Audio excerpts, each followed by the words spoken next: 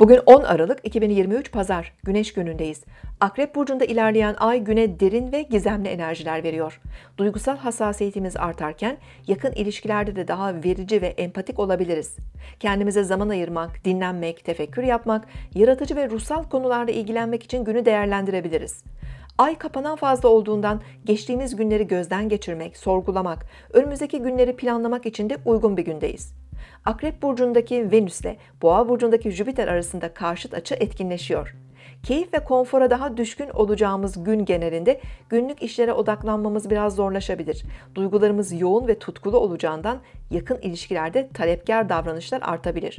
İşte artışı ve abartılı, müsrif davranışları kontrol etmekte zorlanabiliriz. Ay akşam saatlerinde Boğa burcundaki Uranüs'te de karşıt açıda olacak.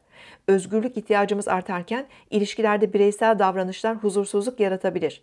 Ani gelişmeler akşam planlarımızı değiştirebilir. Farklı ve ilginç konularla da ilgilenebiliriz. Sabit burçlar Boğa, Aslan, Akrep ve Kovalar bu etkiyi daha güçlü hissedebilir.